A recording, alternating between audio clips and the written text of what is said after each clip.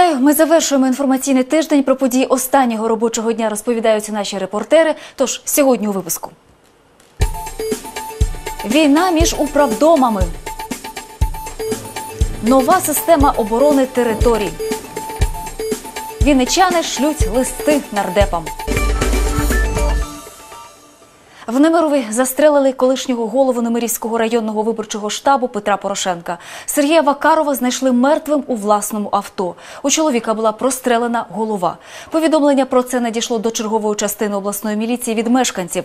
За словами правоохоронців, Вакарова вбили посеред білого дня. Вже опитали багато людей, але жодного свідка так і не знайшли. У загиблого залишилась дружина та двоє дітей. Наразі слідство збирає факти, які б засвідчували, що Сергій Вакаров дійсно очолював передвиборчий штаб Петра Порошенка. Колишній лікар був безпартійним. У тому, що сталося із ним, колеги по роботі не пов'язують із політичними мотивами. Вбивцю загрожує до 15 років за ґратами. Встановлюється зараз слідством, е, з якого виду зброї е, був вчинений даний постріл. Е, Скільки було цих пострілів, це покаже нам балістична експертиза і криміналістична.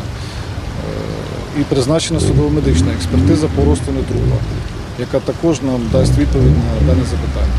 Е, Декому із людей Немирова не подобалося, е, наприклад, е, що він очолює цю посаду. А чого? Тому що це були е, особисті моменти. Багато було людей, які рвуться до влади і хотіли засвітитися.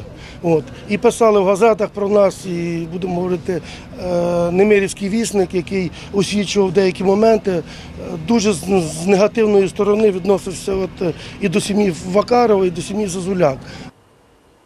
Влада Вінничини формує систему оборони території з урахуванням швейцарського та ізраїльського досвіду. Про це повідомив губернатор Анатолій Олійник на зустрічі із бійцями На- Нацгвардії, які воюють у Слов'янську. 11 хлопців повернулися на вихідні. За цей час планують відвідати могили генерала Кульчицького, який нещодавно загинув на східному фронті. Доправити солдатів до Львова взялася допомогти обласна влада. А на згадку про зустріч її представники вручили героям годинники, грамоти та конверти, розповідає Ростислава Зарубінська. 11 вінничан, бійців Нацгвардії, приїхали додому усього на три дні. Потім знову на передову. Не поїде до Слав'янська лише 31-річний Олександр Прібиш. Місяць тому його поранили у ногу під час другої фази АТО. Когда был бой, с трех сторон нас начали обстреливать. И так как я пулеметчик, начал работать пулеметом. Естественно, враг увидел, что тяжелая позиция Начал, закинули нам с подствольного гранатомета гранату. Она взорвалась за спиной. И осколок залетел в ногу. При этом сломал двойной перелом чашечки, тазобедренный сустав, вертикальный перелом. Олександр каже, тільки не одужає, одразу повернеться до однополчан. Страху вже не відчуває. Страшно было до первого боя. После первого боя, он уже со второго числа он просто как-то переключился по-своему. Пере- Преодолел этот барьер. Но не каждый может. Судя по тем ребятам, которые даже у нас там были, то не все это могли. Но все молодцы. За словами бійців зі східного фронту, найгострішою проблемою є відсутність пристроїв нічного бачення. Терористи зазвичай ідуть у розвідку боєм вночі, атакують же у досвіта. Тож на зустрічі з керманичем області попросили допомогти з поставкою таких прицілів. Ми на зв'язку, все, що потрібно, координуємо. Що треба допомогти, допомагаємо. А по поводу нічних прицілів, оце все е, ще раз повторюю, щоб ми розуміли, куди. І я вже говорив з кількома районами. Ми зараз навіть благодійні кошти з районів підтягнемо для того, щоб теж вам зо 3-4 купити вже, щоб у вас вони були, щоб можна було з цією нечистю воювати. На згадку про зустріч губернатор разом з головою обласної ради вручили героям годинники, грамоти та гроші по 300 гривень.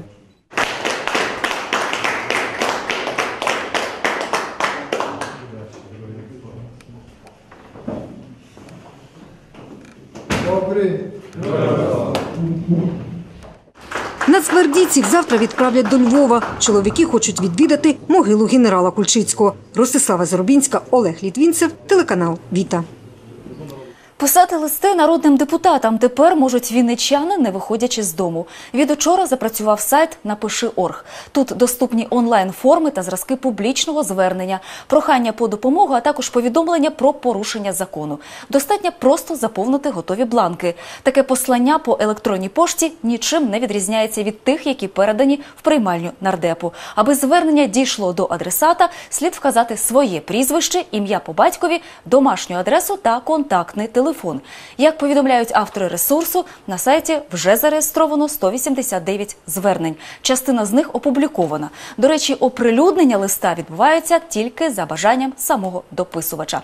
Ініціатива створити такий сервіс належить одному з народних обранців. І це ще не все. Рухаємось далі. Що плаває у річках? У журналістів професійне свято. Словесна перепалка між старшими по будинках спалахнула в міській раді після чергового засідання виконкому. З-поміж кількох десятків питань на ньому розглядали і подання прокурора міста Вінниці стосовно діяльності ТОВ ЖЕО. Висловити своє ставлення до організації на засідання прийшли і старші по будинках. Їх слухала Ірина Дідух. На засіданні виконкому люди прийшли з вимогою скасувати рішення міськради про обслуговування їхніх будинків комерційною структурою ТОВ ЖЕО та взагалі ліквідувати його як таке, начебто тарифи завищені та й належних послуг його працівники не надають. Знайшли неточності і в договорі. Відповідно, є і протест прокуратури. Вказаним рішенням виконавчого комітету Вінницької міської ради зобов'язано департамент житлового господарства Вінницької міс- міської ради до 01.02.13 укласти з ТОВЖЕО договір про передачу в господарське віддання. Визна... Визнають вони четвертим пунктом цього рішення то вже виконавцем з управління, а передають в господарське віддання. На засіданні виконкому протест розглянули та частково задовольнили.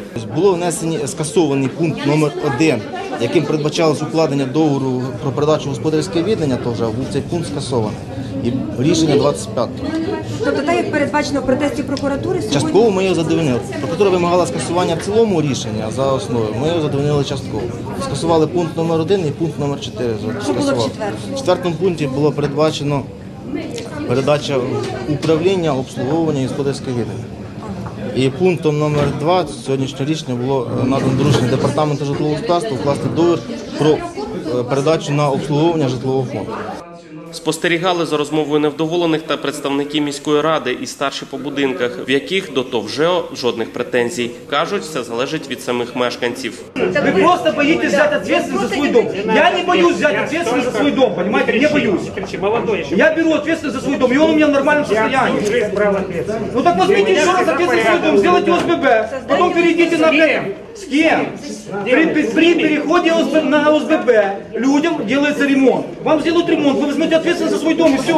Элементарно, понимаете? сделать наш дом, в котором Понимаете, уже 20 30 человек, тысяч 20 человек перемучают весь город. Вот и все. Этот дом, дом надо уложить туда полмиллиона. У меня У меня намного меньше ушло все сделать, поверьте. процентов. Это почти 200 тысяч надо с людей собрать. Вы что, какой-то ВСББ? А за чий счет ви плануєте сделать? А раньше за честь что сделал? Да раньше был Советский Союз, мы живем в независимой Украине, люди добрые, опомнитесь. Представники активних громад переконані, якщо мешканці висоток хочуть жити в чистоті і комфорті, повинні дбати про це, в тому числі і фінансово. Тоді на завищені тарифи нарікати не доведеться. Я вам скажу честно, у меня, э, когда все, вы- все работы выконывалось, у меня э, в графике себето- себестоимости э, было 6-7 тысяч. Сегодняшний, вот я вот брал вчера, у меня 1200, позапрошлый 1800. То есть все работы виконуються, соответственно, собівартість, собівартість падает. Если работы выконываются, конечно, вам всех- никто бесплатно не будет делать, люди добрые. Вы где живете? Вам бесплатно что делать? Вы приходите в магазин, бесплатно покупаете кушать себе? Нет. Невдоволені клієнти ЖЕО вимагають, аби послуги у їхніх будинках замовлялись і виконувались лише працівниками ЖЕКу. Ті ж, кого робота товариства влаштовує, запропонували прийти до них і переконатись проблем, які б не вирішувались, не існує. Готові надати цьому документальні підтвердження. Ірина Дідух, Вадим Потатуєв, Вадим Інжиєвський, Олег Літвінцев, телеканал Віта. Малі річки Вінниці потерпають від безвідповідальності її мешканців. Вони засмічують струмки побутовими відходами та нечистотами. Лише з початку року муніципальна поліція зафіксувала вже більше сотні таких випадків. Порушників карають штрафами, але блюстителі чистоти вважають цього замало. Оксана Святенко про це більше. Малі річки міста в небезпеці. Більшу частину їх забруднюють самі ж вінничани, особливо в приватному секторі. Представник муніципальної поліції Василь Олексюк розповідає, щоразу, як виїжджає у рейд, знаходить як незасмічені струмки, то прибережно-захисні смуги. Їх ширина складає 25 метрів. навіть метра немає, влаштував гноярку на березі річки. З цієї гноярки при дощі, при талому снігові тече багнюка, тече в струмок, забруднюючи поверхневі води, які попадають в річку Південний Буг чи в інші річки. Самі ж власники присадибних ділянок жодних проблем у захаращеннях не бачать. Оце ваше? Оце. Да. Оце. Ой, ось це захламлене. А? Ось це захламлене ваше. Це не заплановано, це стройка йде. Спалиться те, що гіляки які. Воно ще тут вони дороблені. Бачите, викошено. Гіляки, треба трохи. Ну все не вспіваєш. Чоловік, який облаштував на березі гноярку, на обвинувачення не реагує, відповідає запитанням на запитання. Ну, а куда девать? Она на а не- То не є ваша земля, то прибережно захисна смуга річки. Вона не є ваша земля. Ну, ясно. Коли приберете? А? Коли приберете? Не знаю. Вот я с этим, ну, уберем, надо уберем. Та це виявляється ще не найгірше. Дехто із горе хазяїв прямісінько у річку скидає всі нечистоти. Поліціянти кажуть, випадки не поодинокі. Лише з початку року на недобросовісних домовласників склали 116 протоколів. Це майже в п'ятеро більше аніж торік. Адміністративна комісія виносить рішення щодо там суми сплати, і особі надається термін 15 днів сплатити штраф. В разі людина, коли не сплачує, е, справа направляється постанова на розгляд е, виконавчої служби. І людина, якщо адміністративна комісія надала штраф 340 гривень, штраф подвоюється. І відповідно процедура виконавчої служби вона вже стягує з пенсії. Якщо людина пенсіонер, якщо людина працює, то відповідно з заробітної плати. Але одними штрафами проблемі ради не дати. Люди просто не усвідомлюють, що забруднюючи малі річки, вони шкодять самі ж собі. Адже Вінниця одне з небагатьох міст, яке отримує питну воду не з ґрунтових, а поверхневих вод. Хоч перевищення допустимих норм забруднення у південному бузі поки не фіксують, та поберегти його треба. Я говорю зараз про два показники нижче скиду КП Вінниця водоканал і в місті водозабору. Так от е, там, де скид Вінниця водоканалу, е, то вони ці показники не доходять до граничних, скажімо так, показників не перевищують, рідко тільки коли перевищують, а так, то значно вищі, чим е, в місті водозабору. Тому без ну, можна сказати, що вплив стічних вод все-таки є. Можливо, це просто в нас в державі занадто високі граничні межі, наскільки можна забруднювати ці води. Виховувати городян експерти пропонують різними методами і через засоби масової інформації, і виправними роботами. Але погоджуються, якби приватний сектор був повністю каналізований, більшість проблем зникла. Тим паче сьогодні це стає доступним. В місті вже третій рік діє програма співфінансування каналізування приватного сектору. Оксана Святенко, Володимир Гірявенко, телеканал Віта. Вперше в Україні і саме у Вінниці відкрилась виставка польського письменника Владислава Станіслава Реймонта. Окрім творчого спадку, його заслуга перед батьківщиною у тому, що він став першим Нобелівським лауреатом незалежної Польщі. Відзнаку отримав за роман Селяни. Це була вершина творчості письменника. У творі розповів про життя польської глибинки та власну любов до землі. Більше про Владислава Станіслава Реймонта вінничани впродовж місяця зможуть дізнатися у краєзнавчому музеї. Саме там розмістилась експозиція. Її організували спільно з Генеральним консульством Польщі у місті. Wystawka Władysław Stanisław Rejmont. Pierwsze u Winnicy, pierwsze na Podoliu, pierwsze u Winnickomu konsulskomu okrugu, pierwsze na Ukrainie. Відкрита. Да. Я э, думаю, что это э, событие очень важно для нас всех. Так для поляков, так как и для украинцев. Э, потому что независимость получается один раз. И будем считать навсегда. И всегда надо бережно к ней относиться. Вінницьких мас-медійників сьогодні вітали з професійним святом Днем журналіста. Виконуючий обов'язки міського голови Сергій Моргунов подякував акулам пера за плідну працю, побажав хороших тем редакторів та гонорарів, а також професійного росту та дружити один з одним, усіляко підтримувати, адже об'єднана журналістська праця залог від, спільного е, успіху. того, як, е, як буде донесене слово і донесена думка, то так може бути і як мир, так і може бути війна. Тому хотів би побажати, щоб ви завжди правдиво і відповідально відносилися до своєї справи і патріотично. А далі ми пропонуємо вам подивитися на професію журналіста, як то кажуть, зсередини, що думають про свою роботу колег і життя майстрів слова, і як ставляться до них герої матеріалів, розслідувала Тетяна Орлова. Журналісти, дехто називає четвертою владою, інші представниками однієї з найдавніших професій. Хтось заздрить і мріє опинитись на їхньому місці, та нерідко майстрів слова просто недолюблюють. Я считаю, что они дают нам возможность узнать э, побольше информации о том, что происходит, и я бы их защищала. А это все бэкают, мэкают, по блату поустраивались туда. Разговорная речь никакая. Это не журналист. Я думаю, що це людський фактор. Люди бувають різні, це ж саме стосується журналістів. Якщо брешуть, ну, значить відповідно і ставиться так. Якщо кажуть правду, тобто краще всього, коли показують без коментарів. Тобто людина отримує інформацію і робить самі виводи. Самі журналісти німбів над головами собі не малюють, зізнаються, як і серед решти людей трапляються в їхньому середовищі корисливі та неправдиві. Але певні, більшість колег по цеху розуміє відповідальність професії.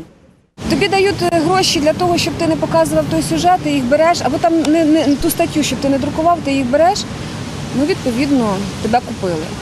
Якщо ти е, ставиш е, вище свою професію за свої людські потреби, ну відповідно ти влада. Мені дуже боляче е, бачити те, що зараз відбувається в інформаційному полі, я маю на увазі між нами і росіянами.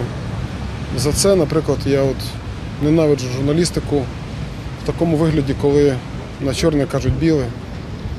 Ну, хочеться комусь дати, чесно кажучи, в морду за таку журналістику. Керівники всіх рангів, чиновники і публічні люди. Їм від Писарчуків дістається найбільше. І я людина теж, і е, кожна людина має десь право на помилки. Е, Важливо якби зрозуміти е, вчасно да, або виправити ті помилки, які є. І якщо журналісти об'єктивно вказують на це, то звичайно я прислуховуюся і ну, намагаюся, як кажуть, виправитися в цьому відношенні. А е, з точки зору ну, такої огульної критики, от, то звичайно е, в якійсь мірі воно обурює. Попри всю непередбачуваність професії, журналісти її люблять разом з безкінечними розмовами, дзвінками і суперечками та навіть претензіями. Не приховують для них важливо, що про написане скажуть люди, адже прагнуть дивитись їм в очі відкрито. В будь-якій професії людина може бути і владою, і може бути повією. Це індивідуальність самої людини. Це не залежить від професії. Ти йдеш в журналістику, ти розумієш, що тебе можуть як і нагородити там 6 числа на день журналіста, а так само тобі можуть дати по голові, або ти своєю там брехливою, не знаю, неправдивою, або навпаки дуже правдивою статтєю можеш викликати бурю гніву і на себе, і на свою голову. Журналісти певні, останні події змінять Україну. Коли настане мир, вона вже не буде такою, як раніше. Сьогодні по-іншому дивляться на світ і як ніколи розуміють, слово здатне вбити і відродити. Та навіть жартома порівнюють себе із лікарями. Мовляв, головне у журналістиці не нашкодити. Тетяна Орлова, Вадим Інжиєвський, Олександр Малиєв, Олег Літвінцев, телеканал Віта. Я вітаю усіх своїх колег з професійним святом і нехай усі найцікавіші події у місті відбуваються не пізніше шостої вечора і тільки на наших очах. Мені залишилось нагадати про сайт наших новин, його адреса на екрані, розповісти про погоду і сказати до побачення. Зустрінемось у понеділок, як завжди, рівно о 19.00. 7 червня у Вінниці мінливо хмарна погода, вночі без опадів, день місцями короткочасний дощ, гроза. Вітер північно-східний 5-10 метрів за секунду, шквали 15-20. Вночі повітря прогріється до 13-18 градусів, вдень очікується плюс 27, плюс 32.